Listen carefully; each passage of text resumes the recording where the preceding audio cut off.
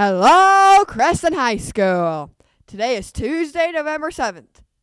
Well, I think that's today. It's day 50 and it's a B day. The quote of the day is Nothing is impossible. The word itself says I'm possible by Audrey Hepburn.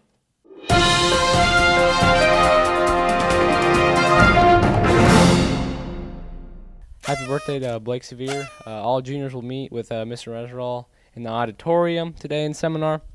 The library will have a food for fines event November 6th or 17th. For every can of food you donate, uh, we will take $1 off your fines.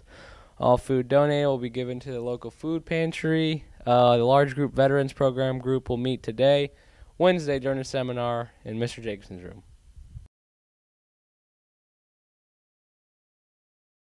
All seniors need to turn in their Jostens orders today or tomorrow during first or second lunch. You will also be measured for your cap and gowns at this time. Thank you, Kayla. This is our seniors information segment. Seniors, you need to get your senior picture turned in to the yearbook staff by December 21st. You can also submit a baby picture with a personal message of 50 words max. This will cost $25. Make checks payable to Creston High School Publications. Be sure to clearly label everything with your name in case the, items got separated in processing.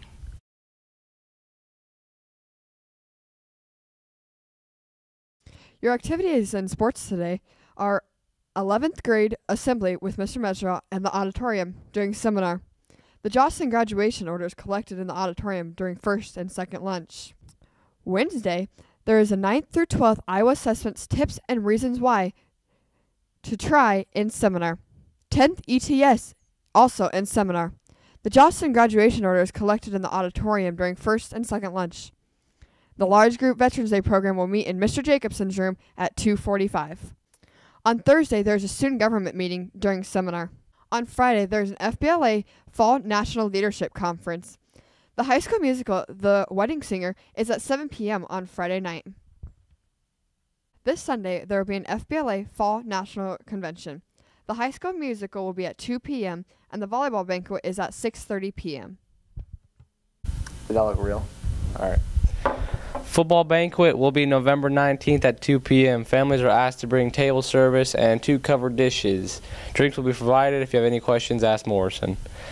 Panther Cross Country Banquet will be Sunday, November 19th at 5 p.m. in the High School Commons. Bring one covered dish and table service. Drinks will be provided. Any questions, contact Coach Slapio. Organizational wrestling meeting 3:30 p.m. today in the library. Am I supposed to say this guidance? All right.